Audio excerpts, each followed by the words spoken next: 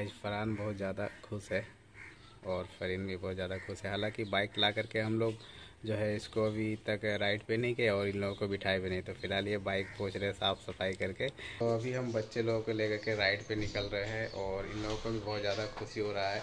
तो बाइक लाए थे, अभी तक इन लोगों ने सुबह से बैठा नहीं है बाइक में। कल से ही कोई चढ़ा नहीं है तो फ़िलहाल अभी उन लोगों को, फरहान, फरीन को लेकर के थोड़ा सा घूमने जा रहे हैं और माइक टेस्ट भी कर लेंगे मेरा एक्शन कैमरा का। और फिर देखते हैं इस बाइक का क्या एक्सपीरियंस रहता है गोप्रो के साथ। कहाँ जाएगी? सलाम करी चलो तो। चाबी ली गाड़ी का? चलो। लो इसको डिक्की में रख दो। तो गाइज़ यहाँ पर हमने रॉयल एनफील्ड का एक बैग माउंट कर रखा है। हालाँकि इसका डिक्की वगैरह साथ में नहीं था। और यहाँ पर जो है हम टॉप बॉक्स लगाएँगे। जो सामान ले जाने के लिए बहुत आसान होगा और नेपाल राइड के लिए टॉप बॉक्स बहुत ज़रूरी है और हैंडल के लिए हमने एक ऑनलाइन मंगाया है जीपीएस देखने के लिए मोबाइल माउंट करने के लिए, जो भी, वो भी काफ़ी अच्छा है, सत्रह सौ के आसपास पड़ा है मुझे। वहाँ पहले से ही वेट कर रहे हैं। अब ऐसा देखना पैर इधर नहीं करना।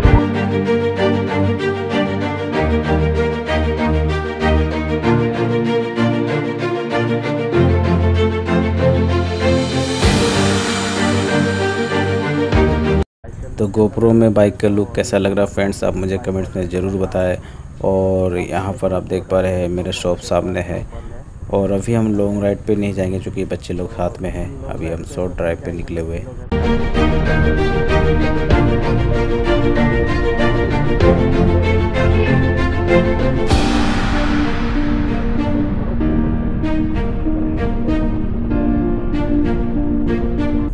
तो अभी कोई डिसाइड नहीं हुआ कि हमको जाना कहाँ है। फ़िलहाल अभी हम जा रहे हैं आकाश के घर और आकाश से हम पता करेंगे कि आकाश के घर की तरफ़ कोई घूमने का जगह है क्या? तो वहाँ पर फिर आकाश को लेकर के हम जो है चलेंगे और आकाश वक़्त बता रहा था कि वहाँ पर जो है कोई घूमने का जगह है, कोई ब्रिज है और जंगल सा सीन है तो उसी जगह पर हम अभी चल रहे हैं।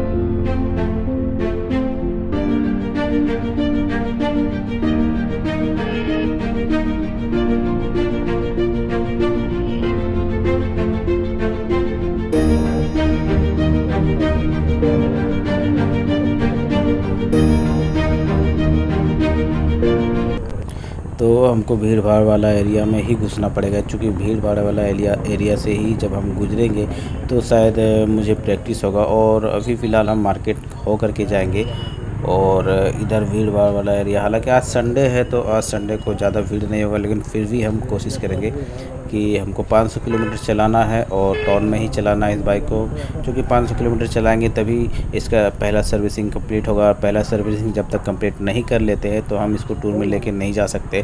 क्योंकि हमारा नेपाल ट्रिप का जो टूर होता है, वो लगभग 2000 किलोमीटर का होगा और ऐसे में जो है बाइक धुआँ मार देगी या फिर कुछ और प्रॉब्लम आ सकता है। इसलिए एक सर्विसिंग कराना बहुत ज़रूरी है।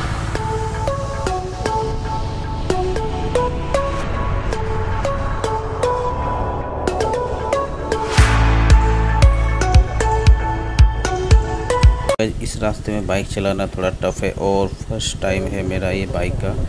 सो एक्सपीरियंस उतना अच्छा नहीं है, फिर भी हम कोशिश कर रहे हैं और आज का ब्लॉग में हम सिर्फ़ अपने बच्चे लोगों को लाए हैं और फरीन की अम्मी को नहीं लाए हैं। हालाँकि उनको भी लाना चाहिए था ब्लॉग में और उनको भी जो है फ़र्स्ट बाइक में टूर कराना चाहिए था, लेकिन नहीं ला पाए, क्योंकि वो वर्क कर रही थी। और अभी फ़िलहाल हम चलते हैं आकाश के घर। आकाश का घर इसी रोड में है, आने वाला है। और फिर उससे हम बात करते हैं, पूछते हैं यहाँ पे कौन सा झरना है या फिर कोई सीनरी वगैरह है तो वहाँ पर फिर हम चलते हैं। आकाश है क्या? आकाश? आकाश है? भाई? अरे, झरना है। फूल है। चलो। तो भाई आगे यहाँ पर फूल है और हमने आकाश को भी ले लिया है। देखते हैं। आगे कौन सा पुल है? हमको तो आइडिया नहीं है तो मुझे लगा था कि इधर कोई ब्रिज वगैरह होगा।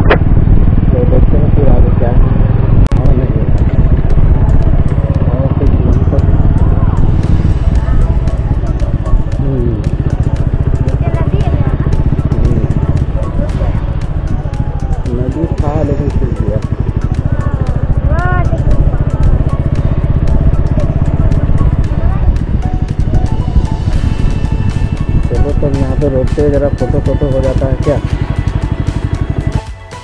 तो ये ब्रिज आप देख पा रहे हैं बेदिया ब्रिज है।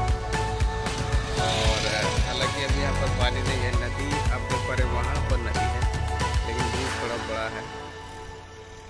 और सीनरी ये लोग देखे, हम लोग इसको घरेलू भाषा में डोभा बोलते हैं। तो ये डोभा का नज़ारा है, और फरान फरीन सब यहाँ पे, इसको करते हैं।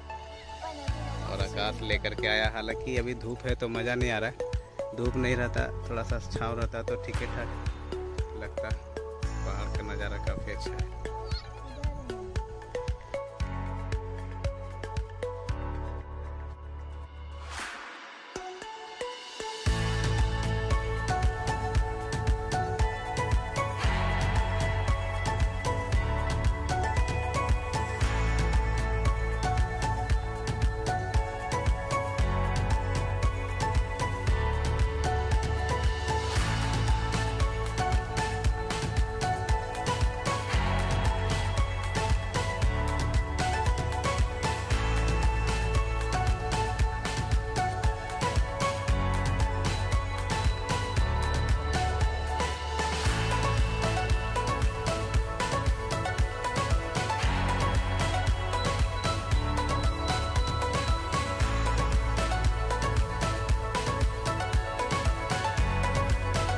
गैस ये काफ़ी अच्छा नज़ारा है यहाँ पर। देखिए असल में क्या इसका जो पेड़ लगाया हुआ है एकदम लाइन से लगा हुआ है। आप किसी भी लाइन में सीधे चल जाइए देखिए बहुत ही अच्छा लगेगा आपको देखने में। तो सीन काफ़ी अच्छा है और यहाँ पे भी आप लोग अगर पिकनिक वगैरह मना सकते हैं और यहाँ पे छोटा सा तालाब है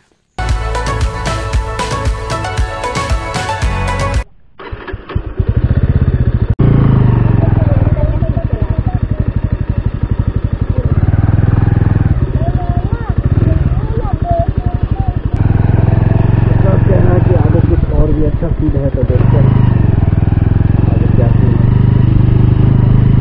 और क्या है, काम करते हैं। तो सारे लोग यहाँ पे इसी करते हैं।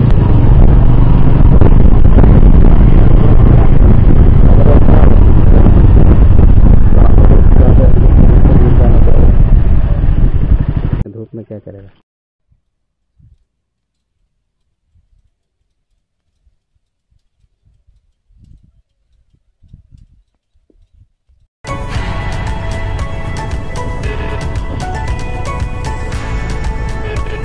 तो गाइज़ आज का फ़र्स्ट ब्लॉग मेरा आपको कैसा लगा ये आप मुझे कमेंट्स में ज़रूर बताया और यहाँ तक ब्लॉग देखने के लिए बहुत बहुत धन्यवाद।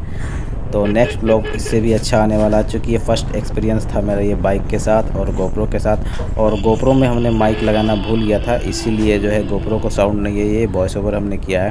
हालाँकि ऐसा सीन हमने फिल्मा लिया, हालाँकि दोबारा फिर इस जगह पर हम नहीं जा पाएँगे, इसीलिए हमने जो है वॉइस ओवर करके इस वीडियो को बना दिया। हालाँकि वीडियो उतना अच्छा नहीं बना, मुझे पता है, लेकिन आप लोगों ने यहाँ तक देखा, उसके लिए बहुत बहुत शुक्रिया। तो मिलते हैं फिर नेक्स्ट ब्लॉग में, तब तक के लिए अपना ख्याल रखिए। जय हिंद, जय भारत।